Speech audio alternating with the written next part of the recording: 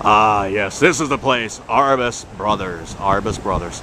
That's right, Arribas Brothers, hand cut crystal. Good times. You can take the finished product.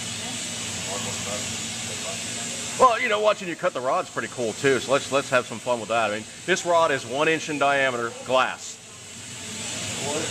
Okay, now the big question is borosilicate glass. What is the actual heat in the flame? Uh, between four and five thousand Four and five thousand degrees. Would that be Fahrenheit or centigrade? Fahrenheit. And it is running like putty. He makes it look easy. Man, he makes it look easy.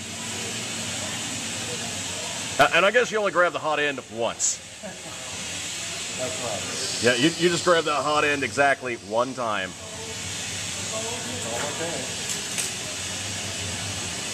To say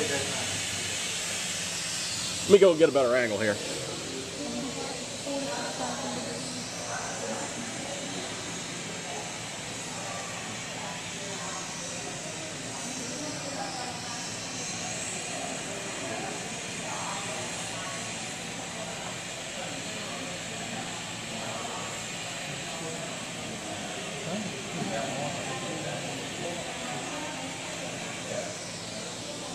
And that is that is just too cool for school.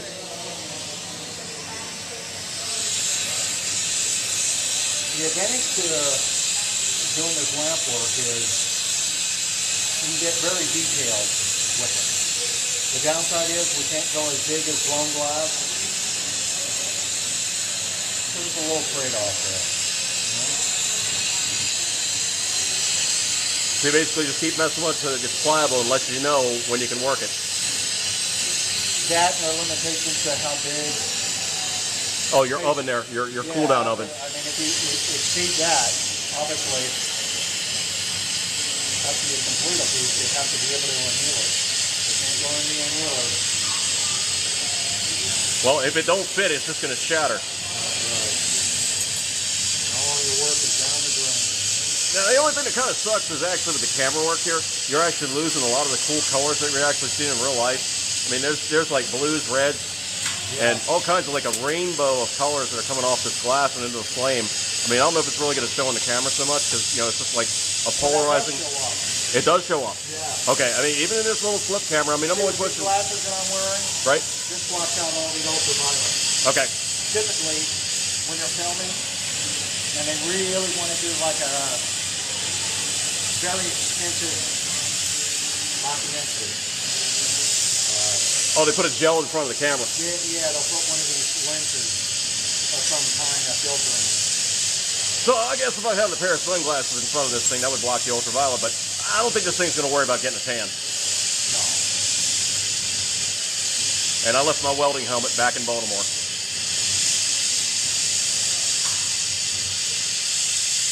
Now, is that cobalt glass or just happens to be blue? Translucent cobalt. That's cool, man. Now I'm going to get the stripes on this material. Oh, I'm sorry, I forgot to ask your name. Your name your, I'm sorry, sorry. What's your name? Your name? William. William. William the Glass Man. And we're over here in downtown Disney, so we are seeing this stuff firsthand, artisan style, being made in real time. And I'm going to throw in the video link so he knows for sure I'm not just playing games with him. I am going to post a video. And you were saying earlier, you've been doing this for like 30 years, correct? Yep. That's right, folks. It only looks easy to play with something that's at a few thousand degrees.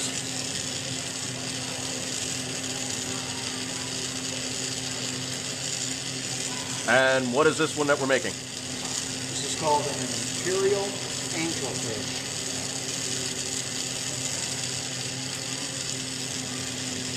Right now, just putting the stripes, translucent color over the white. Is that kind of like that uh, millefiori thing we were talking about earlier? Uh, somewhat. Anytime you put a colored application,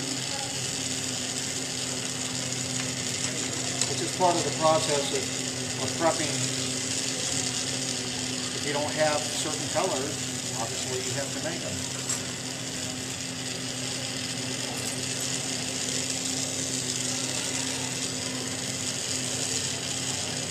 I want a small band that actually pulled some stringers to give it a thinner application.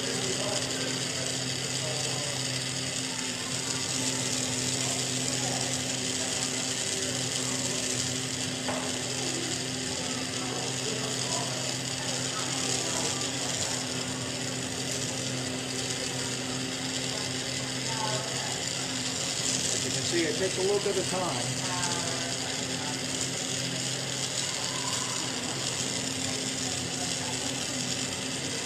Uh, And never mind the fact that you also have that learning curve of how fast to draw into the thing. Too fast, it doesn't stick. Too slow, it makes too big a blob. Yep. But it's all freehand. Right. And I know about, you know, sticking stuff together. I mean, I got a MIG welder, so I, I know about drawing beads. Oh yeah. Yeah, I've stuck together, I've basically stuck together my old Honda. You're you're what? Old Honda. Did you? I have an old Honda CRX and it's got a lot of welds. Wow, I had one of those. Yeah, you know, also known as the uh, the great engine, bad body. Yeah.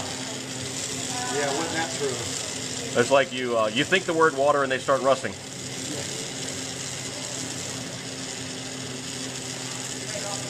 Well, they lasted though. Oh, I still got to sit in my driveway. Really? Yeah, I just I got to do a little bit of work to it before I drive it around. But What year is that one? 85, 85 Honda CRX. S- Yeah, 85 CRX SI. I, I just don't want to drive it around to do some more work on it.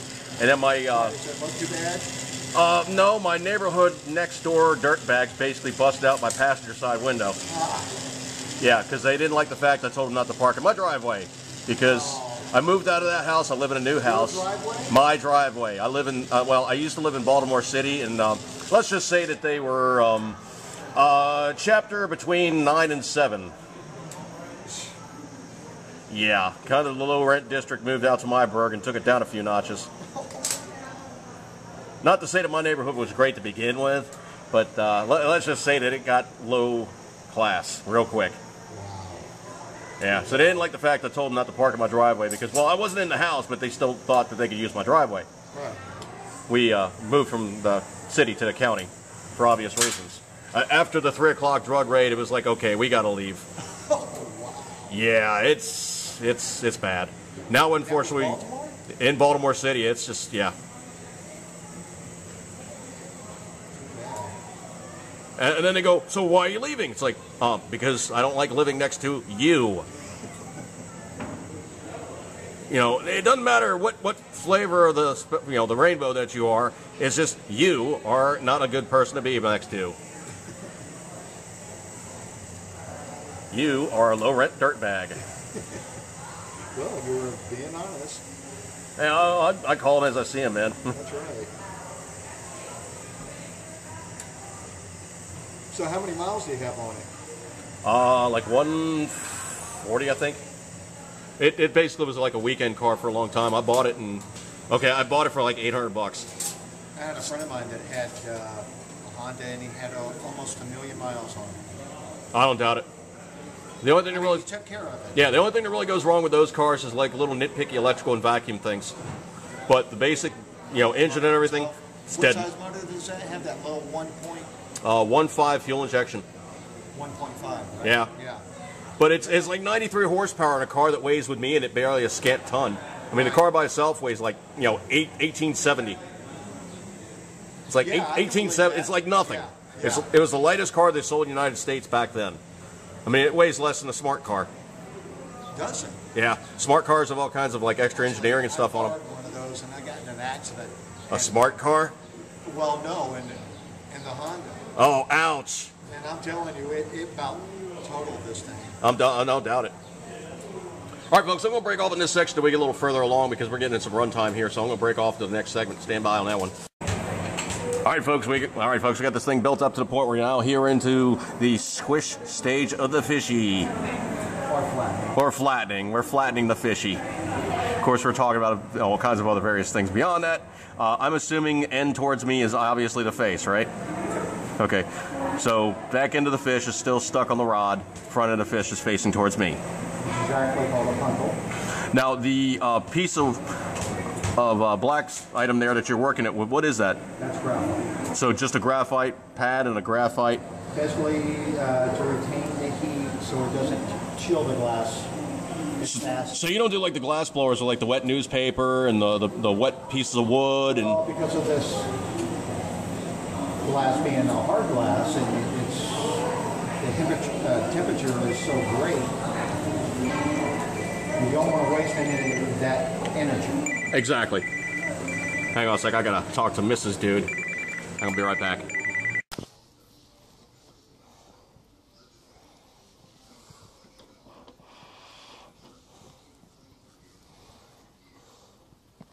All right, we're, we're back after dealing with Mrs. Dude. Mrs. Dude takes preeminence. You know, you have to answer the phone, or, well, you know, William knows exactly what happens when you don't answer the phone when the wife calls. you are dead meat. That's a rather fishy looking fishy. Have you ever done any of the guys from like um, uh, Finding Nemo or anybody like that? Uh, actually, we have an artist uh, submitting some. I don't do them because of the copyright things, and they have to, everything has to be approved. Disney, you're into the, any Disney characters, they have to be approved before they're released. It is part of the Vicky, Mickey Weimar. It will be approved, it has to be surveyed, it has to be performed in a prescribed manner, and the rules must be followed to the letter, or else you are wrong. Then the mouse mouse stockle will be after you.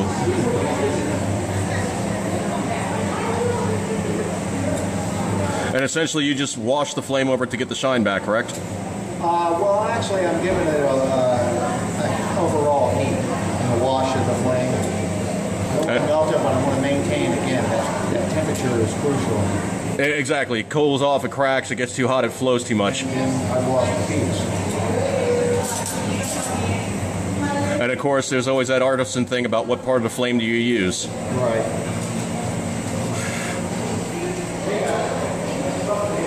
That is not your standard blowtorch.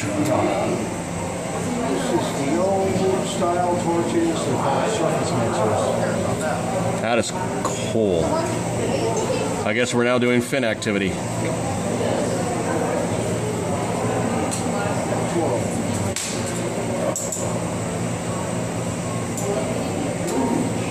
I guess he speaks Finnish.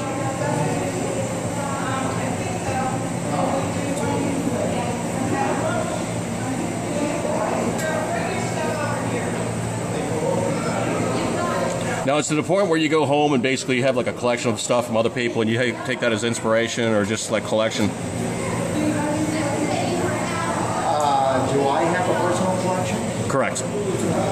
Yeah. I have some pieces that It's kind of like that. home as well. Yeah, it's kind of like the thing. It's like you look at anybody that actually has like a workstation. They've always got like their inspiration pieces, and uh, you know, case in point, I do as well. I mean, you look you look on like my desk, and I have like the tchotchkes and all the various things. Like you know, some people have sent to my channel, and um, you know, personal items and what have you. But you know, mostly it's just like stuff I'm like looking around. I'm seeking inspiration. Sometimes it finds me. Uh, most of the time, usually I'm getting jumped on by my cats because I do actually have a home office. Unless it's you know like the, the appropriate time of like daytime, and then I have my front windows. Uh, the shades are up and the cats are laying in the sun, which is a nice distraction. I, I recommend that wholeheartedly. Definitely in my uh, private studio, I have an extensive collection. Now, do you actually have like a kiln and all the rest of that stuff? And so you're, you're hardcore. Yep. It's an addiction. You don't just do it here.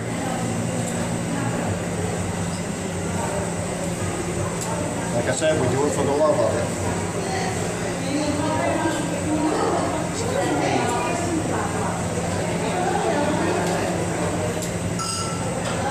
It's definitely in the blood.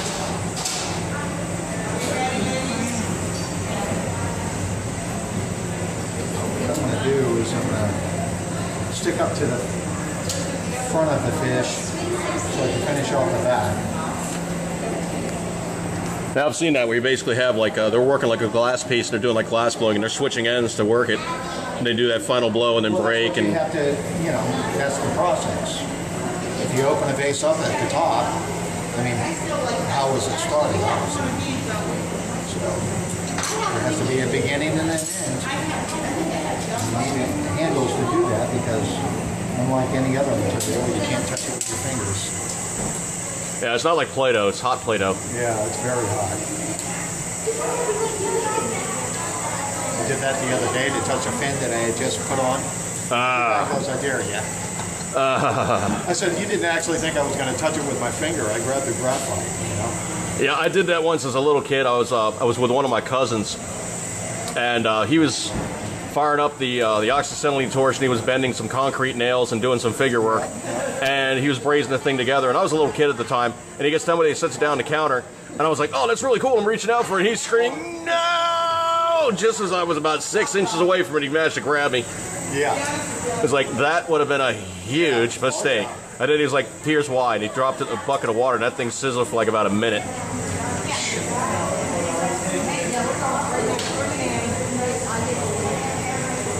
Like, okay, I now associate torch with hot. Right. Well, this happens so fast that generally your mind can't even register it. Oh yeah, you grab a hold, you hear the sizzle. You're in shock. Yeah, you hear the sizzle.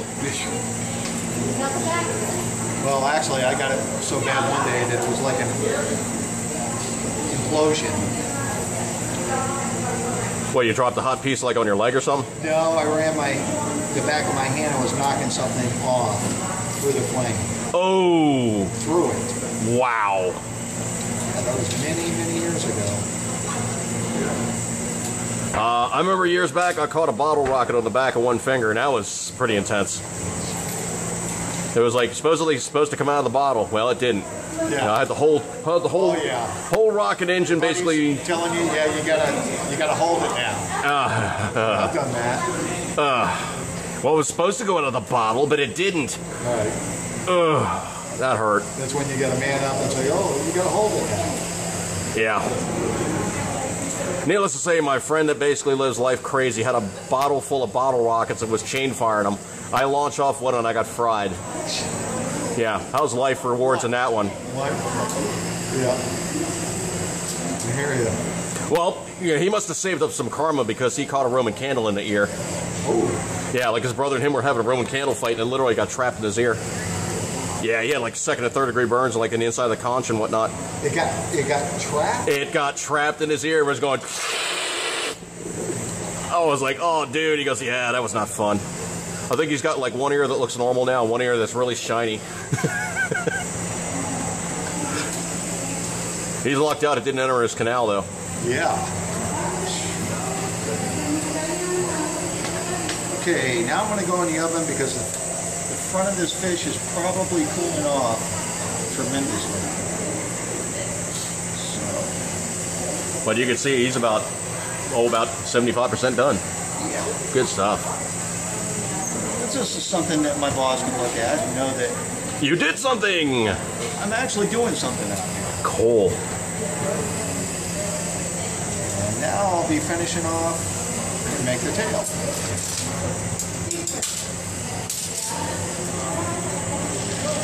Because that gives that some time in the oven to give it an overall heat. Heat back up and stabilize. Yeah. Overall, everything.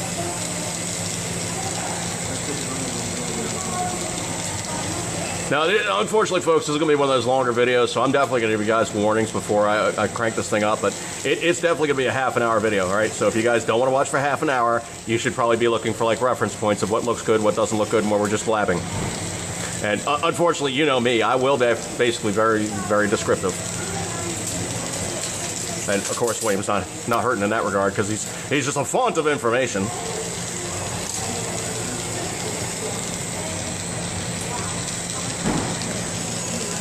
So he gets the tail more built up. We'll crank up again. We'll break off on this. All right, so now we have come to the point of fishy assembly. We have a tail. We have a fish. Tail and fish become one unit.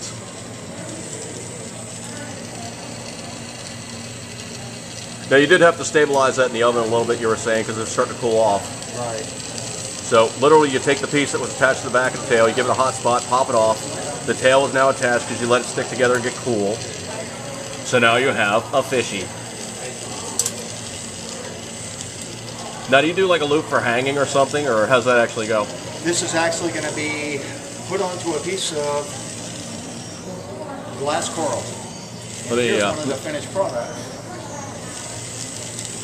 That's cool, man.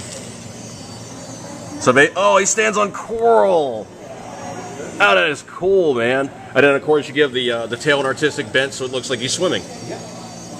That's cool, man. All right, folks, if you think this thing just grows out of nowhere, that's exactly how the process works. Now, of course, William, you actually have to make the uh, the coral base, and that's more work. But the fish now has to stabilize in temperature, so it doesn't just shatter like well, China. Now, is it one of those deals where it basically just sits on the table, and after a while, it just starts developing like these stress fractures, and then just pop? No, nothing like that. Once it's annealed, Well, I mean, before you do that.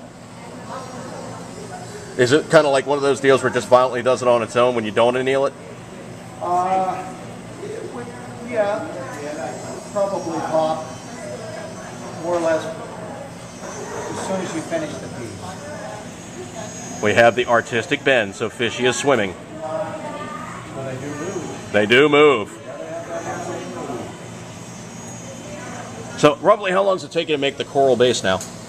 Uh, the whole piece probably takes about 45 minutes. So, for all intents and purposes, all time involved in Mr. Fishy, you got about an hour and change. All right, folks. So when you see these things sitting on the shelf, there's a reason why the price involved is the price involved, because they don't just magically grow out of nowhere. They actually do require some labor. There's the fish. There's the fishy.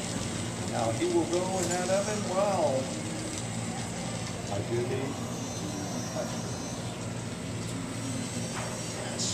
Now, in, in the base of the oven, is there kind of like like a bed of like um, no, not sand. so just sand keeps okay. Uh, sometimes, and then we'll put like this uh, substance on the bottom. It's like a blanket type of uh, material that, so when you put a piece in, it doesn't scratch it. Okay, folks, I'm going to break off on this one, but I just want to give you guys the glass man here. This is William. He's located at downtown Disney. Uh, William, do you have a website or anything like that, or you just work here? Uh, I'm working here uh, full time. He works here full time. So come on and see him. And what's the name of the glass shop again, sir? What's the name of this glass shop? It's Arribas Brothers Crystal. There you go, folks. We're down street. Well, if you could call it street, we're, we're next to the Lego thing, okay? Just look for the big Lego thing. There's like dinosaurs and uh, Buzz Lightyear and dwarfs, and you know what Legos look like. Just look for Legos. Come on in here and see William and say hey to him. He'll be glad to make you something. Thanks so much for guys. Come on by, and as usual here on 80s podcast channel, uh, eat good, keep it a 10 ring, and glasswork is just all kinds of cool. Good times. See you guys. Gonna break off on this one. See ya.